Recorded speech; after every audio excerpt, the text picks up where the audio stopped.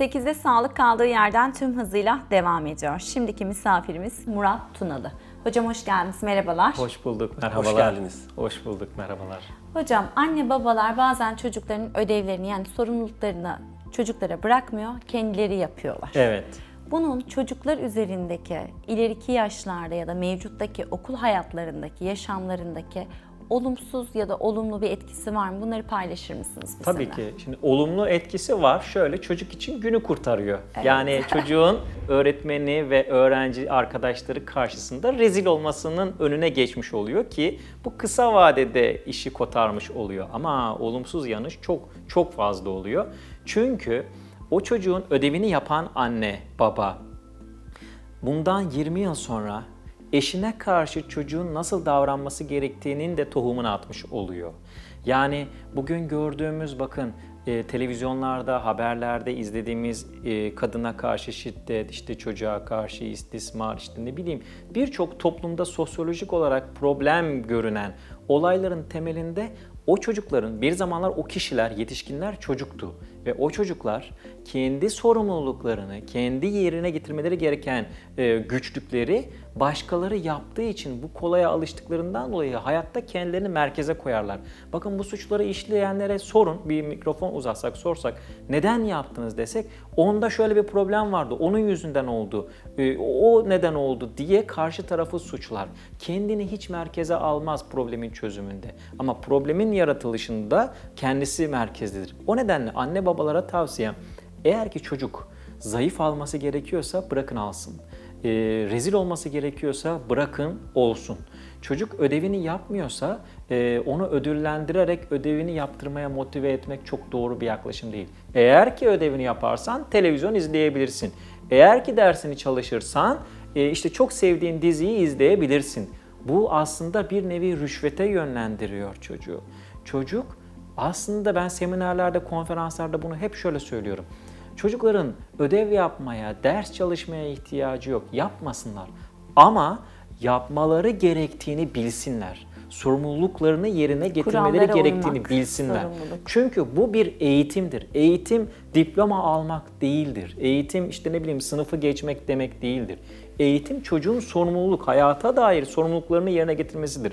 Ee, 20'li 30'lu yaşlarda işini çok iyi yapabilen bir kişinin e, şekli, şekillenmesi İlkokul çağında ödevini çok iyi yapmaya çalışması, yatağını çok iyi düzeltmeye çalışması, ayakkabısını kendisi giyip kendisi temizlemesi, elbiselerini derli toplu tutması bununla alakalıdır. Yani bununla paralellik gösterir.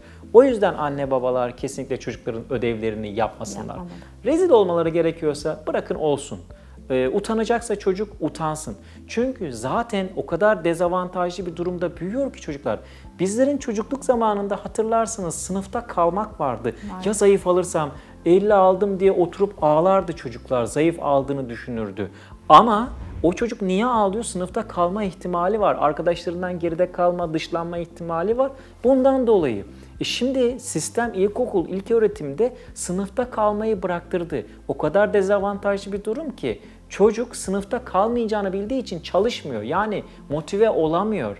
E bunun üzerine anne baba da ödevini yaparsa çocuk sorumluluklarını yerine getirmeden hayatta basamakları çıkabileceğini öğreniyor. Yani 3 kuruşa 5 köfte elde etmiş oluyor ki bu da çocuğa çok ciddi zarar veriyor. Bunun önüne geçmek gerekiyor. Aslında çocuğun daha özgüvenli veya daha sorumluluk sahibi olabilmesi için bu durumda anne babanın rolü çok Tabii, önemli tabii, değil tabii, mi? Tabii Yani Çocuklar aslında anne babaların sanat eserleridir. Siz bazen bana şunu söylüyor, danışmanlık yapıyorum bu konuda. Anne diyor ki ya ben ne yapayım hocam şunu yaptım bunu yaptım. Diyorum ki belki de hiçbir şey yapmamaya ihtiyacı vardır çocuğun. Sizin hiçbir şey yapmamanıza ihtiyacı vardır. Bir şeyler yapmayın. Yani yemedik, yedirdik, içmedik, içirdik, giymedik, giydirdik derler ya.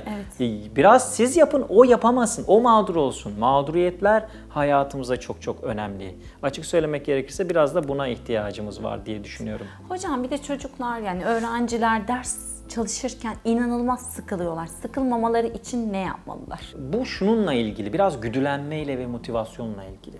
Bakın, e, bizlerin değil ama dedelerimizin, babalarımızın anlatımlarından hatırlarsınız. İşte e, sokak lambasının altında ders çalışıyorduk. Mum ışığının altında, gaz lambasının altında ders çalışıyorduk.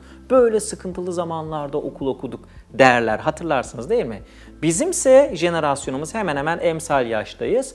Ee, bizim jenerasyonumuz soba yanmayan, soğuk odada ders çalışıp bittikten sonra ödevimiz sıcak sobalı odaya geçip Kemal Sunal filmi izlemek, Türk filmi izlemek üzerine kurgulanmıştı hatırlarsanız. Bizim motivasyon kaynağımız o. Sırtımızda ceket, soğuk odada çünkü soba yok. Yani ısınacak bir ortam yok ve bir hayat mücadelesi orada da bir survivor var aslında değil mi? Yani orada da bir hayat mücadelesi var. Babalarımız, dedelerimiz sokak lambasının altında, yağmurda, soğukta ders çalışırdı.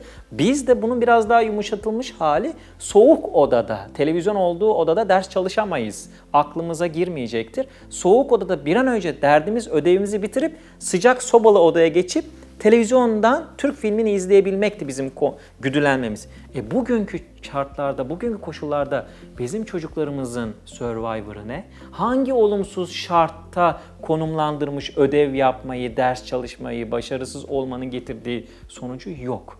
Yani çocuğun bir motivasyon kaynağı yok. Öyle bir noktaya geldi ki çocuklar diyor ki okuyup ne olacak ki? Okumasam daha iyi olurum. ki.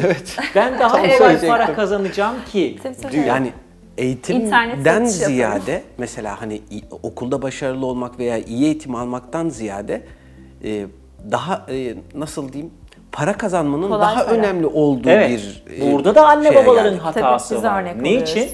Çünkü çocuğa eğitimi, diploma, üniversite, para kazanma, sosyal statü olarak gösterdi anne babalar.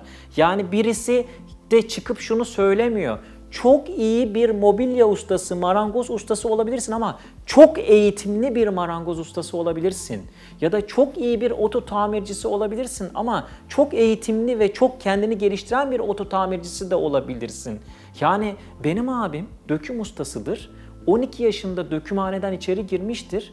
E, çok çok büyük mühendisler onun önünde ilik, e, önünü ilikler, saygı gösterir. Çünkü döküm ustasıdır. Madeni katı madeni sıvı madene dönüştürüp döker ve istediğiniz her parçaya dönüştürebilir, şekil verebilir. Bu bir sanattır, sanatkarlıktır. Ama bu maalesef ki kirli paslı bir iş olduğu için gençlerimiz bunu maalesef tükaka olarak görüyorlar. Ve kolay yoldan para kazanmanın önünde engel olarak görüyorlar eğitimi maalesef ki. Bu noktada zamanımız tükeniyorken çok küçük bir bilgi vereceğim. Buyurun. Benim rahmetli babam bana derdi ki bir karar ver. Zihninle mi para kazanacaksın, gövdenle mi? Evet. Şimdi eğer ki zihninizle para kazanmak, hayatınızı kazanmak istiyorsanız bunun hakkını vermeniz gerekiyor. Eğitim almanız lazım. Eğitim de her daim devam eden bir şeydir. Sadece diplomayla elde edilen bir şey değildir. Kesinlikle. Bu sayede hani çocukların ders çalışmaya motive, güdülemek babında örnek vermek gerekirse çocuklara sadece diploma almak, sınıfı geçmek olarak gösterilmez. Bunun en güzel örnekleri şu son zamanlarda çok fazla oldu. Mesela e, Covid ilacına çare olan aşıyı bulan bilim insanlarımızın dünyada biyolojiyi sevdirmeleri gençler arasında. İşte Nobel ödülü alan Aziz Sancar'ın bilimi sevdirmesi, olumsuz koşullardan, çok daha dezavantajlı koşullardan çıkıp üniversiteler okuyup ve buna benzer birçok örneğimiz var. Sivil savunma sanayi, milli savunma sanayinde insansız hava uçaklarını yapan e, kişilerin örnekler örneklenmesiyle. Açık söylemek gerekirse gençlerin e, biraz parasal kaygılarını böyle bilimle örtüştürerek aktardığımızda çok kolay motive olabilirler. Ama çok kötü örnekler de var. Biraz da ondan oluyor belki de. Yani e, kolay yoldan para kazanabilmeye ait e, önlerine gelen çok fazla örnek var. Biraz bundan da etkileniyorlar sanırım Bakın ben çocuklar. konferanslarımda özellikle liselere verdiğim liseli öğrencilere üniversiteye hazırlanan süreçte konferanslarımda çok böyle e, kır, keskin örneklerle anlatıyorum. Mesela diyorum ki dünyada Türk olarak sayabileceğiniz YouTuber'ların isimlerini söyleyin diyorum. Birkaç tanesinin Üç tanedir, beş birkaç tanedir. tanesinin birkaç tanesinin üniversite mezunu, mühendislik mezunu olduğunu söyleyince ağızları açık kalıyor çocukların. Diyorum ki çok ünlü olan bir e, YouTuber'ın örneğini veriyorum, ismini veriyorum. Bakın bu diyorum ünivers- mühendislik mezunudur. Mühendislik zeka olmasaydı bu kadar başarılı olamazdı. Evet. Zannediliyor ki dışarıdan işte o çok izleyici sayısı vesaire bu işin algoritmasını, matematiğini, bilmeni e, öğrenmeden yapamaz mısınız? Yani e, mesela bir örnek veriyorum bir YouTuber'dan diyorum ki bu adam haftada 3 tane kitap okuyor diyorum.